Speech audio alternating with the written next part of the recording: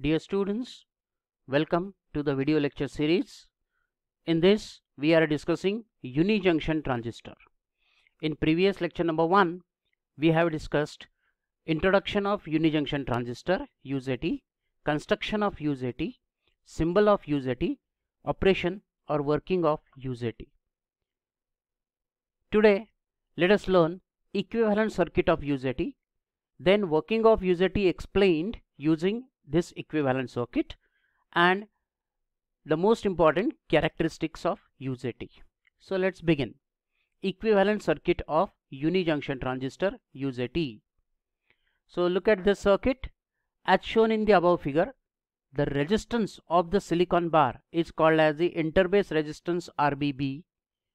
This total resistance is RBB and it is represented by two resistors in series. Number one RB2 is the resistance between the terminal B2 and the emitter junction.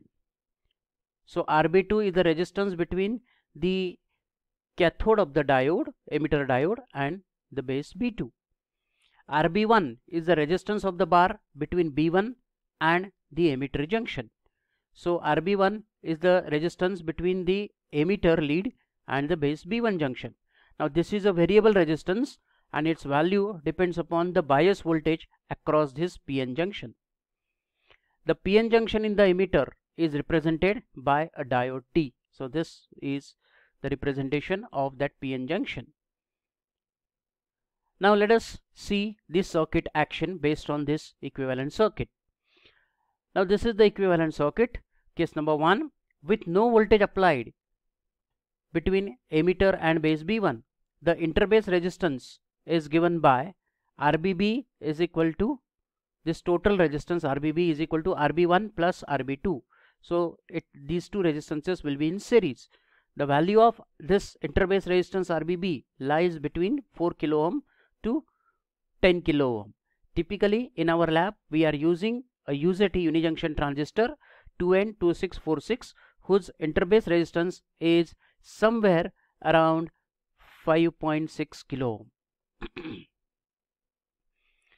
Case 2. If voltage VBB is applied between the bases between B2 and B1 with B2 positive with emitter open there is no voltage across emitter then the voltage gets divided across RB1 and RB2 because only VBB is applied and there are two resistors in series RB1 and RB2 so this will form a potential divider arrangement so voltage across RB1 will be equal to V1 and that is equal to RB1 upon RB1 plus RB2 into VBB. Here we are applying potential divider formula. So V1 upon VBB, V1 upon VBB is equal to RB1 upon RB1 plus RB2. Now the ratio V1 upon VBB is called as the intrinsic standoff ratio and it is represented by Greek letter eta. So eta is equal to RB1 upon RB1 plus RB2 or RB1 upon RBB. So the value of eta generally lies between 0.51 to 0.82. Therefore, the voltage across RB1 will be equal to simply eta times VBB, eta times the applied voltage. Now case 3, if positive voltage is applied to the emitter, see VE has been shown in the diagram, the diode will become forward biased when input voltage exceeds eta VBB by VD, the forward voltage drop across the silicon diode. Because across this diode, on left side there is a voltage VE and on right side there will be a voltage eta VBB. So this diode will become forward biased only when its anode becomes anode goes higher than the cathode voltage.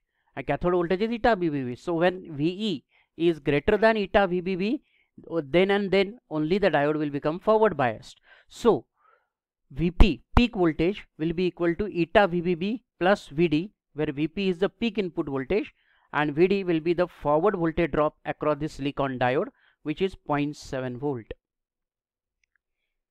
Now when diode D starts conducting, when this diode is forward biased and it starts conducting, holes are injected from p-type material to the n-type bar. So holes will be injected here. These holes flows towards the terminal B1 because B, B2 is positive so these holes will get repelled by this positive terminal so they will get attracted toward terminal B1 so this decreases the resistance between emitter and B1 by decreasing the internal drop from emitter to B1 so the emitter current now increases until it is limited by the emitter power supply. So this is the working. Now let us see what is the meaning of characteristics of UJT now as we had already learned Characteristic of any device means it is the graph of current flowing through that device against the voltage applied across it. So for UJT, this figure shows the curve between emitter voltage VE and the emitter current IE at a given voltage VBB between the bases. So it's a pictorial characteristics of UJT means a pictorial representation of or the graph of emitter voltage VE against the emitter current at constant value of VBB. Okay. So this is the graph. It has it is showing three regions cutoff region, negative resistance region and saturation region. It is also showing two points. One is peak point and another is called valley point. Let us discuss all these step by step.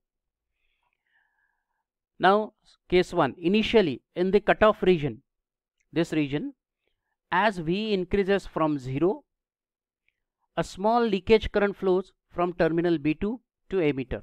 So this current is due to minority carriers in the reverse bias diode and that's why this current is shown negative and it is very small current. This current is negative because on x-axis we have got some negative current. Okay, because it's a reverse current, leakage current. Second case, above a certain value of VE as we gradually increase the voltage emitter voltage forward IE forward current emitter current begins to flow increasing until the peak voltage VP and the current IP is reached at the point P. After the peak point P, sudden increase in the emitter current IE. Now emitter current will start increasing as shown here will decrease VE because number of charge carrier they are injected in that region and because of available extra available uh, number of charge carrier or excess charge carriers the voltage drops so this is a negative resistance region so from point p to this point this is called negative resistance region because here current increases but voltage drops this region lasts until the valley point v is reached with valley point voltage VV. So this is the valley point voltage VV and valley point current IV. So this is valley point current and here there will be a valley point voltage. After the valley point UJT goes into saturation region. So after this point UJT goes into saturation region. So that's all for today's lecture. Stay tuned for the next lecture in the series.